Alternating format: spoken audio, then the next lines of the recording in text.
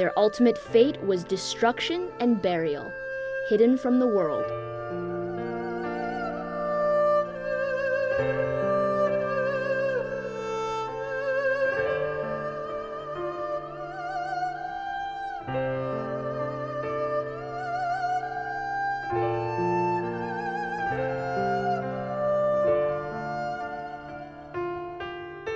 There's a legend that says that one emperor ordered the production of one dragon jar.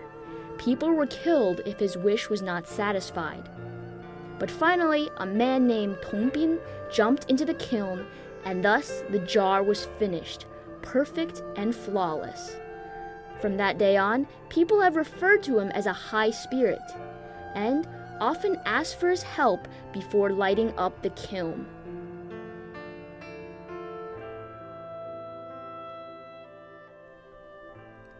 Today, most people that want to study ancient ceramics don't find complete pieces. Instead, they have to take the broken shards and rebuild history.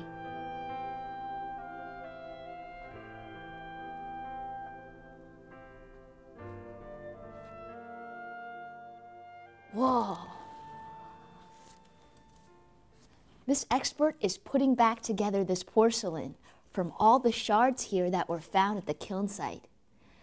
Looks like pretty hard work, but almost like a jigsaw puzzle.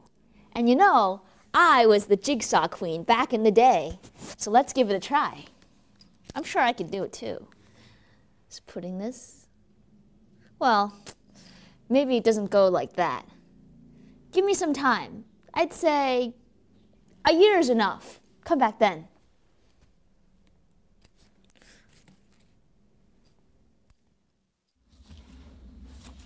In the Ming Dynasty, the technology behind ceramics production reached new heights. Today, there are now 72 steps in the process, including clay washing, throwing, trimming, drying, glazing, and so on. The best craftsmen, the best technologies are centered in Jingdezhen, so obviously the best pieces can also be found here. It was in the Ming Dynasty that the ceramics of Jingdezhen had a special status in China and around the world.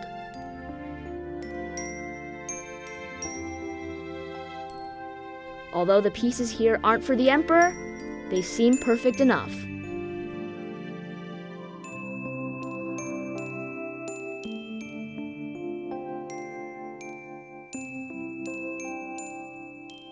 So this is the before product. And you see the ink on this bowl is black. But after it's put in the kiln, it'll miraculously transform to a whole different color. Look over here.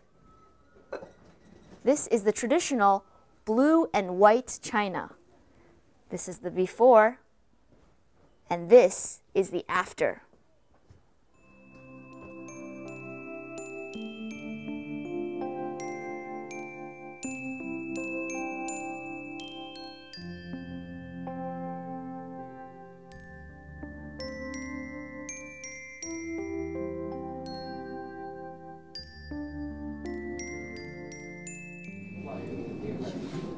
This man right here is using the potter's wheel to sort of mold out this bowl.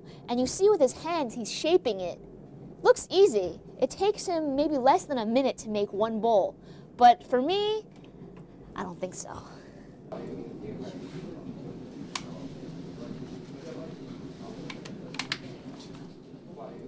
It's always my turn.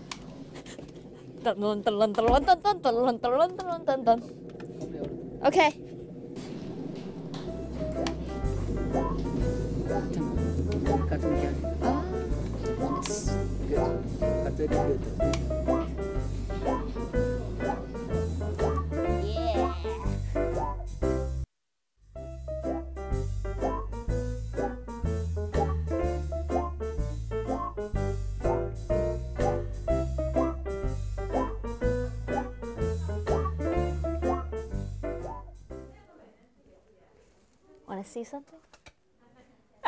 But I'm not going to show you. This is my private piece of work, huh? First, you got to find the kiln, and then I'll promise to let you see.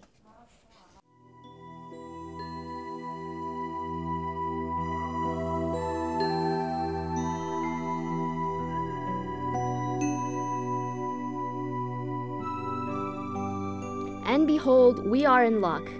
We found a kiln. Although it's not used today, it serves as a good model of what an actual kiln looked like.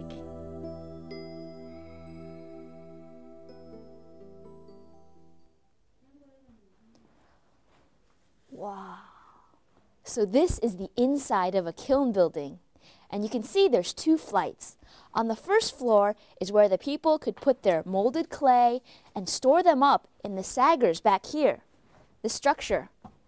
And then upstairs is where they would keep the firewood for burning up the kiln. Of course, there's my favorite part, the most important, the kiln itself, where the burning was actually done. And that is back there.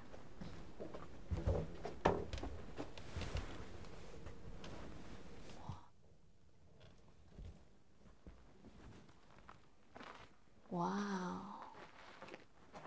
This kiln has a history of about 400 years. That is a lot of time. And there's actually some unique architectural characteristics. You see on the wall here, the base, you see bricks lined horizontally. And above that and around is a very dome-like shape. And at the very top, it seems like the bricks are just hanging up there, all the way around. And the bricks are actually stuck together with clay and mud. Right here, see the clay and mud? It's very, very sturdy, and it's a mystery how they're stuck together like that. It can stand temperatures of around 1400 degrees Celsius. Mysterious is just not enough to describe it. What used to be just a combination of water and clay is slowly transformed this is a labor intensive process, and workers must load the carriers very carefully into the kiln. Of course, perhaps the most important person is the keeper of the kiln door, who must determine the right placement and temperature. But ultimately, the fire makes the final decision.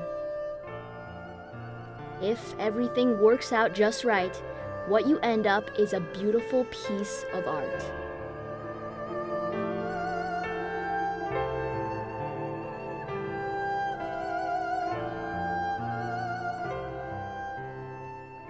So now, this is the second story of the kiln, flight number two. And look up here, and you'll see a chimney. Next to the chimney, there's a dome.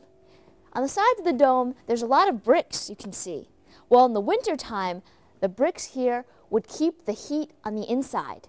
And then, in the summertime, they'd keep the dome from expanding or changing shape.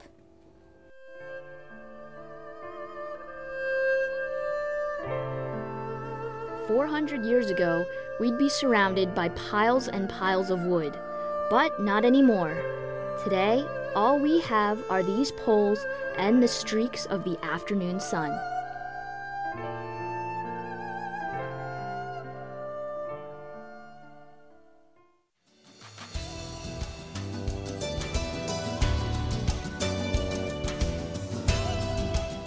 In the modern day, China is made using large scale production that includes many advanced foreign machinery and the quick development of Jingdezhen's electrical porcelain industry.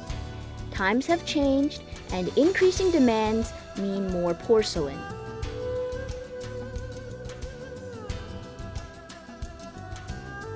Although machines do most of the work, still, people make sure the products you find are the best of the best.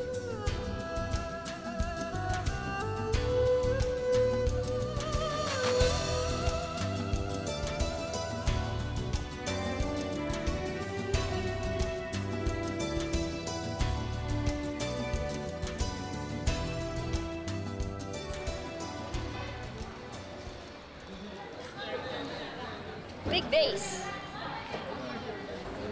Stool. Teapot. China comes in all different shapes and sizes, different colors, and different functions. In some shops, there are even accessories made of porcelain.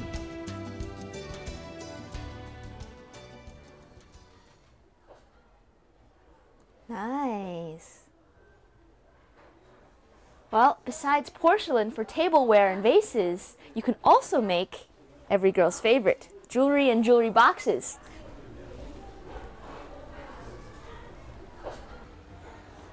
You can see the porcelain of today has a modern twist.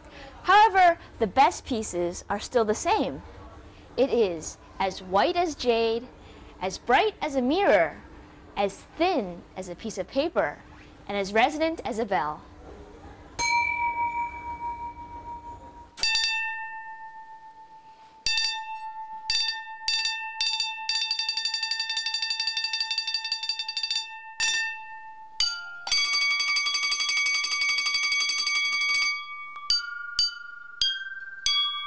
My mother used to say, don't play with your tableware. Well, it's not the case when you're playing these porcelain instruments. Yes, porcelain bowls, bells, drums, flutes, and chimes. They're all transparently glazed and form an orchestra of people and instruments.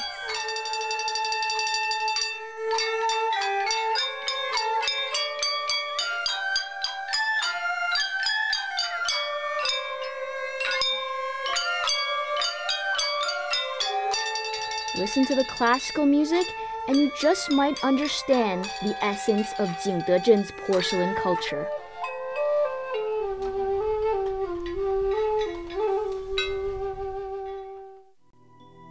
Outside in the central square of Jingdezhen, there are statues that commemorate the history of porcelain production.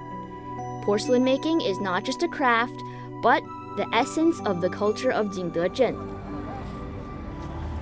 Amongst towering skyscrapers, busy traffic, and plenty of people, there's still a bit of the past in the present. Well, I want to show you my bit of history. Do do do do! Remember the bowl I made? It's out from the kiln. Hey, you like it? In our History and Culture series, you've learned about China in China. Thanks for traveling with us. I'm Yin. See you next time.